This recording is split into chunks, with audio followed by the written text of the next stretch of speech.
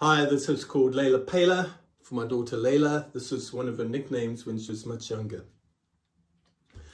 Leyla Peyla, Leyla Peyla, Leyla